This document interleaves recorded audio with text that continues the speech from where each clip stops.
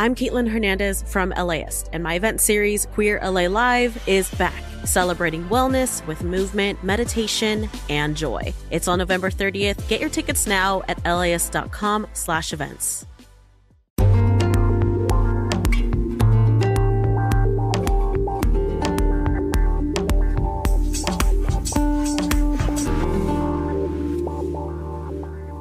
LAist Studios.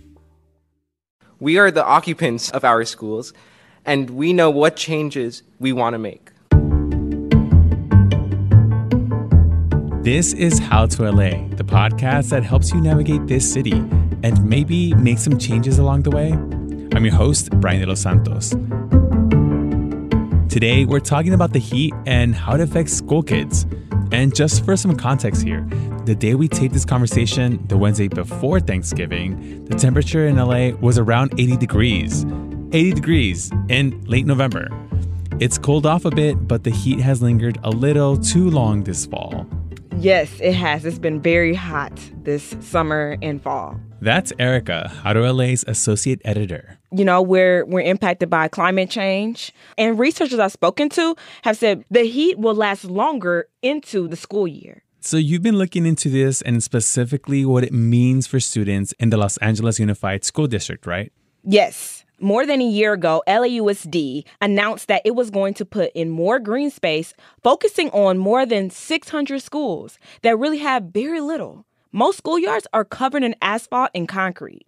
There's been a lot of talk, but I wanted to check in on what's actually been done. A final plan is expected soon, but there's still a lot of questions, Brian. Okay, we're going to get into LAUSD's schoolyards plan in just a bit. But I have to say, when I first heard about your reporting, I was shocked that after so many years, schoolyards are still covered in asphalt. My elementary and middle schools were in the mid city area, and they had little student gardens, but very little grass or trees. Yeah, I agree with you, Brian. Same with me. Um, in my experience going to LA schools, Basically, most public schools are not designed for the kind of extreme heat we get nowadays. To understand how it got that way, let's go back to the late 19th century to early 20th century. You know, I love history. Mm-hmm. America was going through a period of rapid growth. I'm talking about the Industrial Revolution and urbanization. As more people started to drive cars on the road, asphalt became an essential part of the American city's landscape. It was a smoother roadway for cars. It was fairly easy to make and it wasn't that hard to maintain. So, as more schools were going up to handle the baby boom, asphalt was used on playgrounds and schoolyards as well. It probably seemed smart at the time. Mm-hmm. But decades later, schools are in need for serious upgrades. These are old buildings, and many still don't have AC. And there's been this growing realization that all that asphalt might not be good. Asphalt absorbs heat, and that makes the surfaces where these kids play kickball really hot. Yeah, let's talk about the heat problem. We've talked to LAist reporters and experts about this issue. Our region is only getting hotter and hotter. What have you learned through your reporting? So, even though the weather is cooling down now, the fall semester has still been very hot. Let's take schools in the San Fernando Valley, for instance. The temperature in those students' neighborhoods can hit highs well over 100 degrees during different parts of the school year. The asphalt in the San Fernando Valley has registered 142 degrees on its surface. That's hot. Yeah, I can't even imagine. Here's UCLA researcher V. Kelly Turner talking about how bad the extreme heat we're facing right now has gotten, especially for the kids. One of the things is that this year is hot. It was a hot summer. It's going to continue to be hotter further out into the school year. And that's just going to be how it is in the future. Some people call that the quote unquote new normal. And so it's um, important to think about heat in the fall because it can be 100 degrees here in Los Angeles in November. In her team's research at UCLA, they found that schools are some of the hottest places in communities. Researchers estimate that 60% of California's elementary school districts will experience at least 100 days above 90 degrees annually by 2035. And you also spoke to students and teachers about green spaces in their schools. What did you find and what did they say? I talked to a third grader at Beachy Avenue Elementary School, which is in the San Fernando Valley. He told me that he likes to be outside to play, but his schoolyard is missing some shade. It's really hot out here. Sometimes I've experienced like heat waves and my feet like burning even though I have shoes on. A number of students and other stakeholders also weighed in during a recent Greening and Climate Resilience Committee meeting, a forum LAUSD started to publicly address these issues. Here's another student named Arthur. He's in high school. We are the occupants of our schools, and we know what changes we want to make. This includes implementing more green spaces, gardens, or shaded areas with natural covering. This could create a much more desirable environment as our input and voices are heard, we can work together with the district to make this a reality. Thank you. Thank you very much. And uh, Luca? also, an elementary school teacher from San Pedro said something pretty shocking about what her students experienced on their playground. She said there was crumbling asphalt everywhere. She said the play area looked more like a prison yard than a school where students should play. My school is not on the top 30 most critical asphalt repair list. How many more schools are like mine that are in dire need of repair but years away from getting improvements? We have to take a break, but we'll be back to continue talking with LAist Associate Editor Aaricka Washington about the lack of green space in LA schools.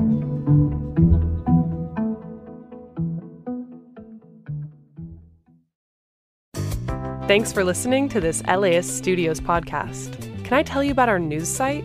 It's LAist.com, and it covers news, culture, and happenings that matter to Angelenos, like how and where to get your vaccine, how Southern Californians are fighting for racial justice, local and state politics, and how you can still take part in our vibrant food and art scene.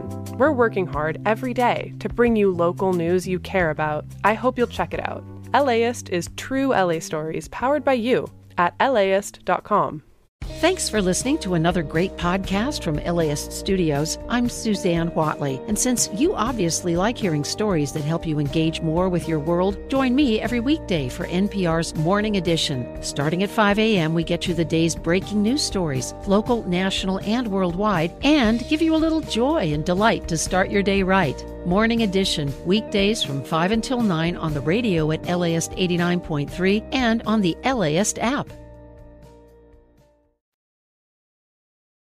So let's talk about learning and how this heat issue affects kids in the classroom. Research shows that heat can negatively impact kids' ability to learn. It hinders their academic performance. One report from the National Bureau of Economic Research found that kids who took the PSAT on hotter days had lower scores, and this was much more pronounced in lower income communities that tend to not have AC or much green space. Here's V. Kelly Turner again. So maybe there's a child who doesn't have air conditioning at home.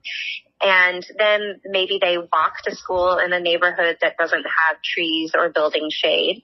And then they come to school and they also have very little access to shade, maybe no cooling inside. Their core body temperatures are never getting down to safe levels, and that's going to cause them to have difficulty concentrating. And it's going to be very, very hard for a child to learn in that context. Imagine, Brian, when you're burning up on a hot day, it's hard to focus, right? Mm-hmm.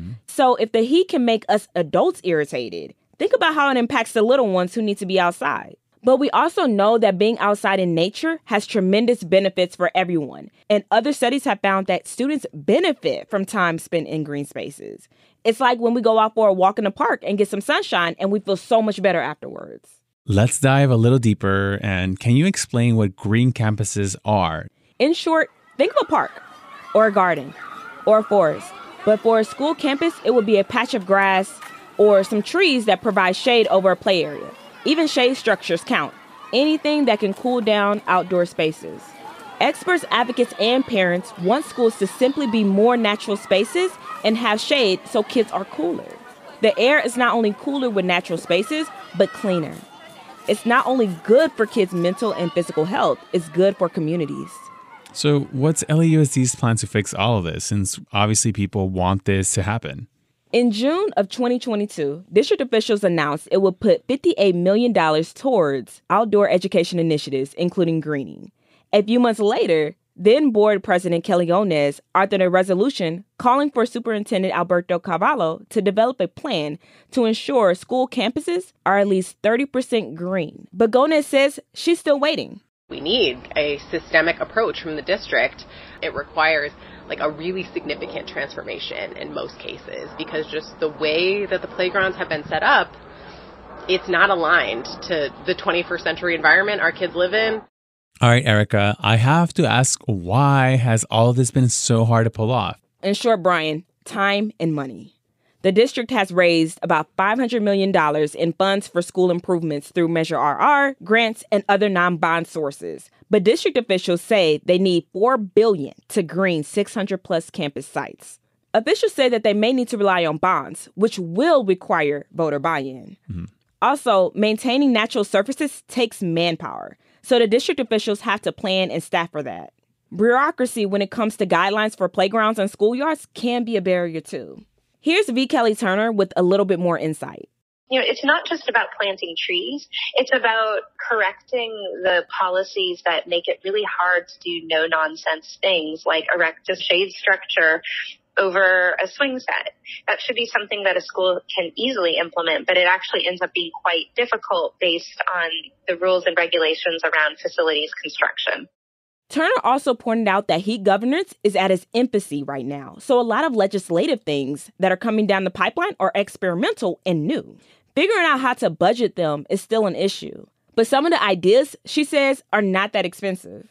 And you spoke to folks at elementary school that were able to create green space on their campus. How did they pull it off? Yes, there are schools that are pulling it off through district projects, nonprofit partnerships like the Trust for Public Land and Tree People. Some school officials have reached out to board members for funding. I talked to the principal of Beachy Avenue Elementary School, who told me she made the call to her board member, Kelly Gonez, to create a reading garden. But, Brian, that took five years and more than $100,000. That's kind of a long time. Yes, it is. So I have to ask you this if there's such a lack of resources to create and maintain green spaces in schools, does that mean those community gardens or other cute features that are on LAUSD campuses are the work of community members themselves? Some are. For example, I wrote last year about my old elementary school, Wilshire Crest, and how it was so asphalt heavy. They wrote me back saying that the campus, which used to have more than 11,000 square feet of asphalt, now has a reading garden and green space.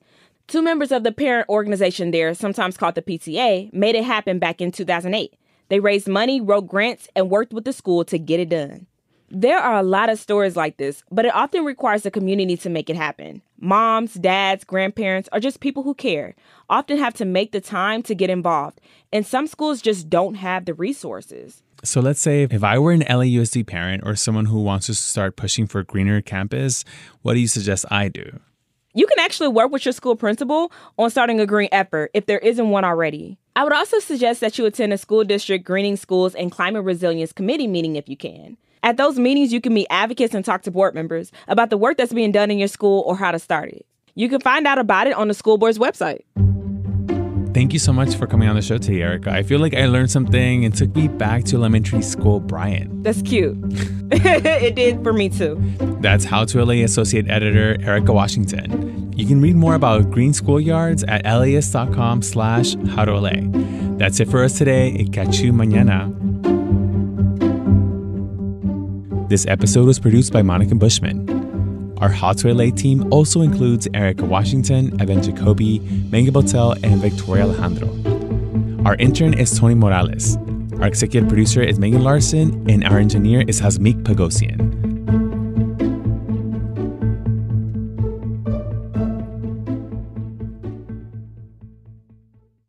Support for this podcast is made possible by Gordon and Donna Crawford, who believe that quality journalism makes Los Angeles a better place to live. Imagine if you could charge your electric vehicle at the places you already love to eat, shop, and play. Whether you're at the movies, on your weekly grocery trip, or running errands at your local mall, Volta EV charging stations are built around your day to day and located in your community and nationwide. All you have to do is check in, plug in, and go about your day. It's EV charging made convenient. Download the Volta app to find your new favorite place to charge.